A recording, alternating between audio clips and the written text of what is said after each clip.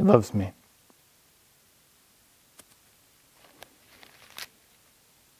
She loves me not.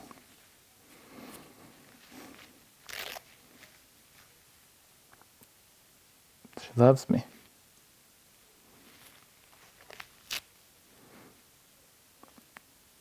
She loves me not.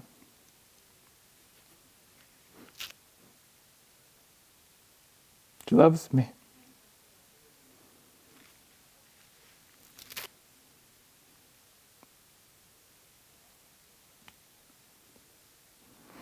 She loves me not.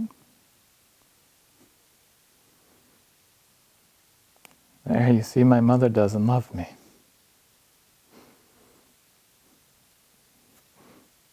Why should she? she? She wants excitement and romance and younger men, and here I am already 25. when I'm not around, she's only 32. When I am, she's 43, and she hates me for it. Besides, she knows I don't approve of the theater. She adores the theater. She thinks she's serving humanity in the sacred cause of art. My opinion, theater today is boring and trite. The curtain goes up, and between these three walls lit by artificial light, the famous actors, these high priests of art, parade around showing us how to eat and drink and love and work and wear our clothes. And then the playwright tries to squeeze some kind of moral, some kind of little moral, perfect and perfectly fit for human consumption. And every play repeats itself like this, with only infinitesimal variation. It's enough to make me want to flee, as Maupassant, who ran from the Eiffel Tower because he knew it would poison his mind. We need a new kind of theater, Nina. We need new forms, and if we cannot have them, we are better off with no theater at all.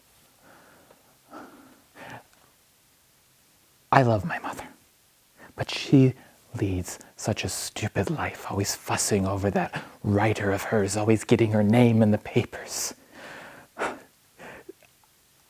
I know it's probably selfish, but Sometimes I wish I didn't have a famous actress for a mother. I think I might be a lot happier if only she were a ordinary mortal.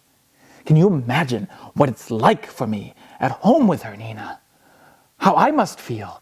That living room is always filled with famous actors and writers, and the only nobody there is me. And who am I? What am I? I'm my mother's son, and that is the only reason they put up with me. I mean, I left university my third year owing to circumstances, as they say, beyond our control. I have no talent. I haven't a kopeck to my name. My passport says I am a bourgeois of Kiev. That's my social position. My father was a bourgeois of Kiev, only he also happened to be a famous actor. So when these famous actors and writers and musicians in my mother's living room ever happen to notice me, all I can think of is how they're measuring my insignificance. It's like I can get inside their minds, and all I can feel is agony.